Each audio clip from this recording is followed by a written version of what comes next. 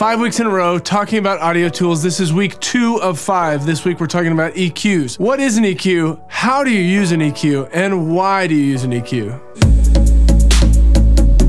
This channel, I talk about audio, I talk about video, filmmaking, creativity, all the above. I just love this stuff. I love talking about it. And if you subscribe to this channel, you are joining a movement, joining a family, and I wholeheartedly appreciate you. Seriously, I love interacting with each and every one of you that choose to interact and comment on these videos. It's been a freaking blast this year. Merry Christmas season yet again. Here we are, week two, talking about EQs. And an EQ is a frequency modulating, manipulating tool. It doesn't fit in the category of a dynamics processor, even though you are decreasing or increasing the volume in different frequency bands. The dynamics processor is triggered by its interaction with the dynamics. An EQ is not. It's triggered by whatever you tell it to be triggered by, and it affects EQs on different bands. It affects the frequency spectrum that we can hear. So what is the frequency spectrum? So from 20 hertz on the far, far extreme low end all the way up to 20,000 hertz is the human audible frequency range. However, I can only hear to about 17 or 18,000 hertz. Most people can only hear up to 15,000. I know, I'm special and gifted. That's why I do audio. So the EQ tool works to manipulate, modulate, cut, boost, all that kind of stuff within that range of audible hearing to enhance or change or creatively express the audio signal. So there are three main types of EQs. There are fixed EQs, graphic EQs, and then parametric EQs. We're gonna be talking today only about parametric, but a fixed EQ is gonna be like the three knobs you have on your home stereo or the stereo you grew up with, bass, middle, treble. That's a fixed EQ right there. Each of those knobs operates a certain level of frequencies, brings them up or down. A graphic EQ is gonna manipulate the exact same thing where you have a fixed bandwidth. You might see a five band or a 10 band EQ. Premiere Pro has a 30 band EQ, where basically it's just a set of faders on different bandwidths, which is on different pieces of frequency on a bell curve, where you can attenuate the signal or boost the signal by bandwidth. And those are fixed cues. And we're going to get into Q here in just a minute, but they're a fixed Q situation. Fixed Q. So, um, we're going to talk about parametric equalization, and the reason is, is because parametric EQ is the easiest way to manipulate frequencies and the most versatile and just by far the best to use. Now, if you're in Premiere Pro, there is a parametric EQ you can use there. If you work in Logic, there's one there. If you work in Final Cut, there's one there. If you work in Audition, there's one there. There are parametric EQs no matter what program you work in. So there are four parameters, four parameters that I want you to be aware of today as far as parametric EQing and how to use it for audio for video. Cuts, boosts, shelves, and Q. I mentioned Q already, so we'll just start with Q. What is Q? Q is a measure of the bandwidth, meaning a measure of how many frequencies are you manipulating at one time. The bigger the Q number, the more narrow the frequency band. The smaller the Q number, the more wide a frequency band. So a Q of zero, you're manipulating the entire frequency spectrum and you're basically just turning the volume up and down. A Q of 40 is going to be manipulating a very, very small, narrow set of frequencies. And this is great if you have, for example, like a sine wave hum going off and going in a room, like you hear just a strange noise you want to get rid of, or a cell phone goes off. You can pull it down just a little bit with a really narrow Q, make a cut, and it's gone. Which brings us into cuts and boosts. So a cut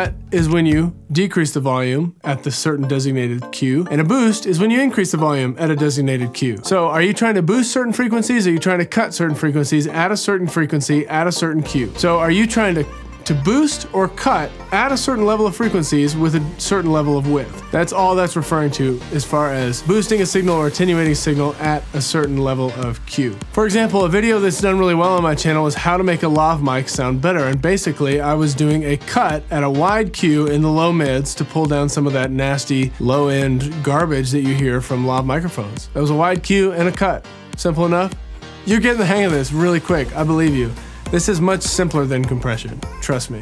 It's pretty much intuitive. The fact that I'm making a video on this is just because I love EQ and I hope you do too. So we, we talked about cuts and boosts in your audio, but what about a shelf or a high pass filter or stuff like that? Well, a shelf is gonna be on the low end or the high end when you actually make a shelf shape and you increase a certain amount of frequencies, not at a bell curve, but at an actual like shelf where you just have this piece on your parametric EQ where you're gonna boost all frequencies above say 15,000 hertz for high-end clarity, or you're going to cut all frequencies below 500 hertz just at like 3 decibels. That would be called a shelf. What about things like a high-pass filter or a low-pass filter? Exactly. Those are just specific cuts either on the high end or the low end that roll off a certain number of frequencies below the threshold that you decide. I do pretty hard cuts in, in video audio, below 100, below 80, to just roll off any of that nasty unwanted noise that you pick up with your microphone, especially a sensitive microphone like the Rode NTG3, sometimes that picks up just the most subtle noise you didn't even know were going on, like your refrigerator makes a rumble sound that you don't notice because you live with it, but on the microphone it's going to be a problem, so do a high pass filter. Set it at 80 hertz, knocks off everything below 80 hertz, and you're peachy.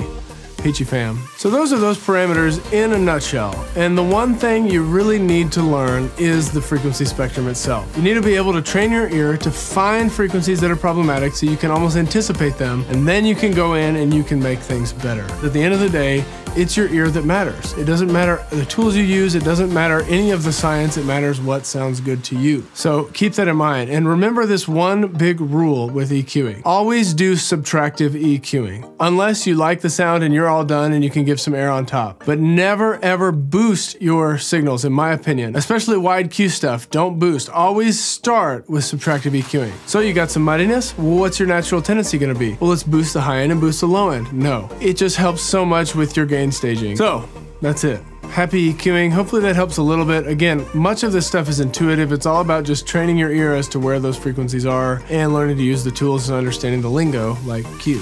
And that was really it. This video is really just about Q. Like I said before, this is week two of five of my audio tools course. Coming up next week is going to be the de-essing course, so you don't want to miss that. If you've never used a de-esser, you're going to want to check this out. Love de-essing. So let me know your thoughts. What do you do with EQing? Have you used it before? What did I miss? What did I get wrong? Let me know in the comments. Would love to interact with you that way. Sorry we lost Ron Swanson just for a minute, but I will see you next week.